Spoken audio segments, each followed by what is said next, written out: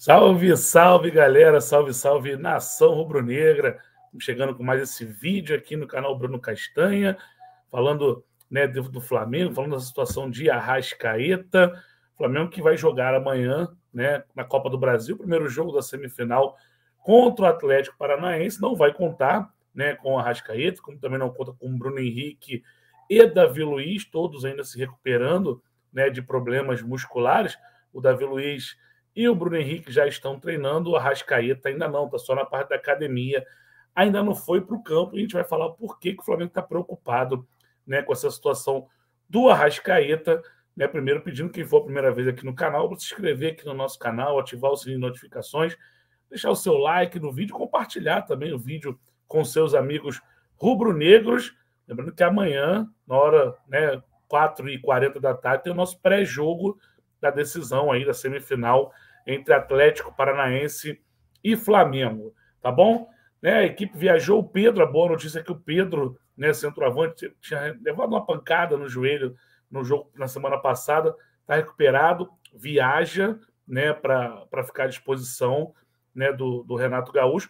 O time né, deve ter apenas duas mudanças, o Isla deve voltar à lateral direito, o Rodrigo Caio volta na zaga ao lado do Bruno Viana, o restante do time deve ser o mesmo, né, que jogou agora contra o Cuiabá, Diego Alves, aí sim, Isla, Rodrigo Caio, Léo Pereira, Felipe Luiz, Arão, Thiago Maia, Andréas, mais adiantado, Everton Ribeiro, Michael e Gabigol. Esse deve ser o time do Flamengo para enfrentar o Atlético Paranaense.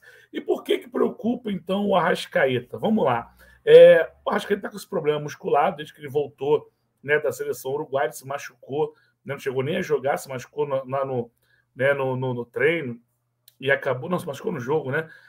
Mas machucou e acabou né, sendo cortado né, da seleção uruguai, foi no jogo, e até agora está se recuperando. O Flamengo tem o jogo de volta na semana que vem, dia 27, do Atlético Paranaense. Tenta ainda né, ter o Rascaeta e o Bruno Henrique nesse jogo. O Davi Luiz não pode jogar a Copa do Brasil. Né? E depois, logo no sábado, dia 31, dia 30, desculpa, dia 30, tem o Atlético Mineiro né? Um jogo que pode ser aí, né? Fundamental, é fundamental né, na disputa do Campeonato Brasileiro. E o Flamengo corre contra o tempo para ter esses jogadores nesse jogo decisivo contra o Atlético.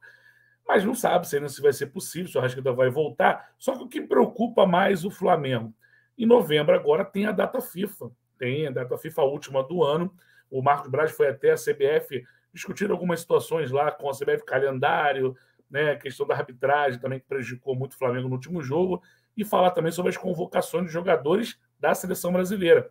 E o Tite e a CBF conversam lá, é muito provável que não convoquem jogadores que atuem no Brasil, caso do Everton Ribeiro e do Gabigol, né, ambos do Flamengo, não seriam convocados. O Brasil já está aí classificado praticamente né, na, na para a Copa do Mundo, lidera com folga aí a, a, a, as eliminatórias, mas o Uruguai não.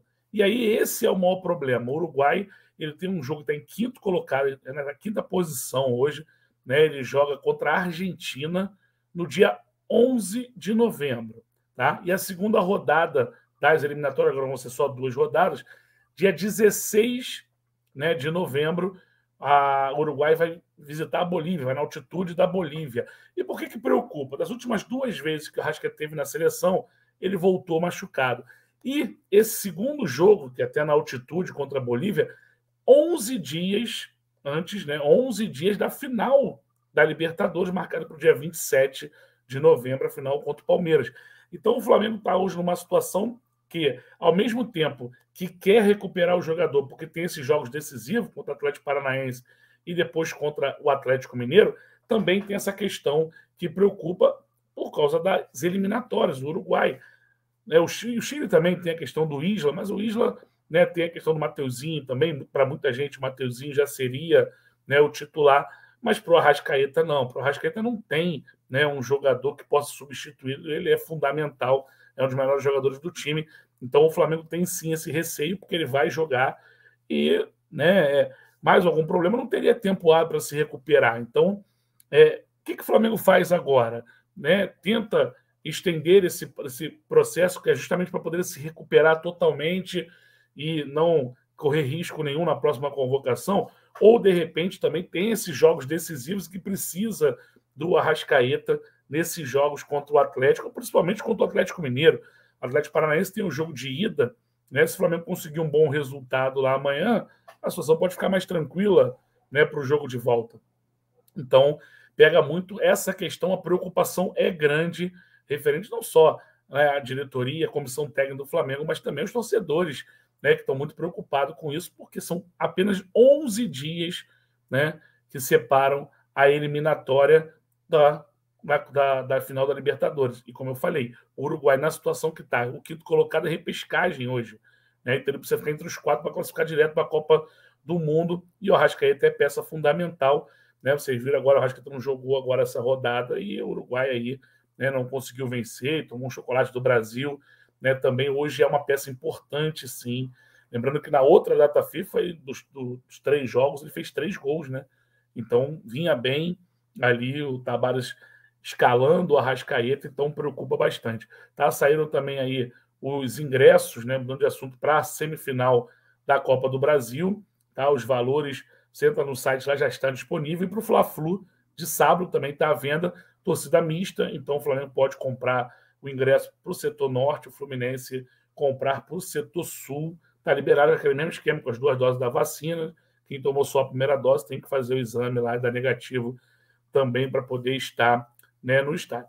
Então é isso. Amanhã, convidando vocês para estarem com a gente né, no, no, no pré-jogo. A gente vai falar com muito mais detalhes, vamos analisar taticamente também esse confronto contra o Atlético Paranaense e, claro, trazendo sempre mais informações para vocês, torcendo muito para a recuperação né, do Arrascaeta para ele voltar a jogar. O Bruno Henrique, bem provável de voltar na semana que vem contra o Atlético Paranaense, pode ficar à disposição. E o Davi Luiz, ainda é muito difícil de jogar contra o Fluminense, mas deve ficar à disposição para o jogo contra o Atlético Mineiro. Tá bom, galera? Vamos torcer aí, porque o Arrascaeta é peça fundamental para o nosso time e para o esquema do Renato também. Valeu, galera. Então se inscreve no canal aí, ativa o sininho de notificações, deixe seu like, fortalece a gente e tamo junto. Saudações.